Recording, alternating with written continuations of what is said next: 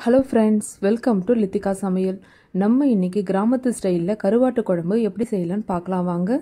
அதுக்கு தேவையான இன்க்ரீடியன்ஸ் பார்க்கலாங்க. ஒரு வெங்காயம் பொடியாக கட் பண்ணி வச்சுருக்கேன் ஒரு முழு பூண்டை தோல் உரிச்சு வச்சுருக்கேங்க ஒரு தக்காளி பழம் கட் பண்ணி வச்சுருக்கேன் கருவேப்பிலை. நான் இன்றைக்கி காரக்கருவோட எடுத்திருக்கேங்க. நான் இது சுடுதண்ணி நல்லா கழுவி வச்சுருக்கேங்க.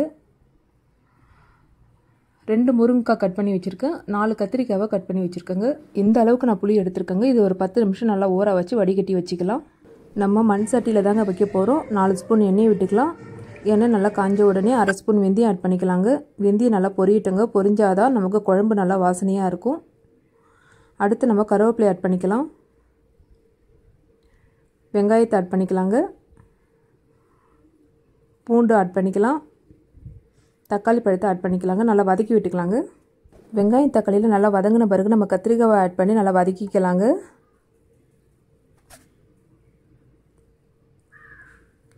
அடுத்து நம்ம மசாலாவை ஆட் பண்ணிக்கலாம்.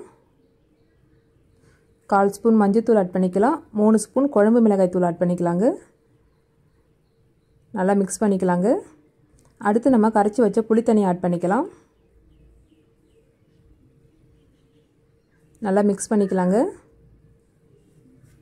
அடுத்து நம்ம தேவையான அளவு உப்பு ஆட் பண்ணிக்கலாம். ஒரு தட்டு போட்டு மூடிக்கலாங்க. ஒரு கொதி வரட்டும்.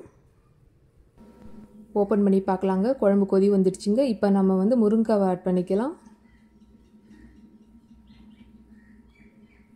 குழம்பு வந்து ஒரு பதினஞ்சு நிமிஷம் நல்லா கொதிக்கட்டுங்க. பதினஞ்சு நிமிஷம் ஆயிடுச்சுங்க. நம்ம இந்த டைமில் கருவாடு ஆட் பண்ணிக்கலாம்.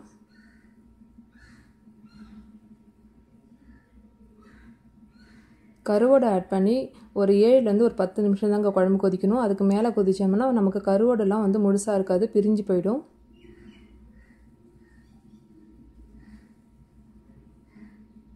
ஒரு தட்டு போட்டு மூடி ஒரு ஏழுலேருந்து ஒரு பத்து நிமிஷம் நல்லா கொதிக்க வைக்கலாங்க. ஓப்பன் பண்ணி பார்க்கலாம். நமக்கு குழம்பு ரெடி ஆயிடுச்சுங்க. கருவோடில் நல்லா வெந்துருச்சு பாருங்கள் சுவையான கிராமத்து ஸ்டைல் கருவாட்டு குழம்பு ரெடிங்க இந்த வீடியோ உங்களுக்கு பிடிச்சிருந்தால் லைக் பண்ணுங்கள் ஷேர் பண்ணுங்கள் கமெண்ட் பண்ணுங்கள் அண்ட் சப்ஸ்கிரைப் பண்ணுங்கள் மறக்காமல் பெல் ஐக்கானை கிளிக் பண்ணுங்கள் நன்றி வணக்கம்.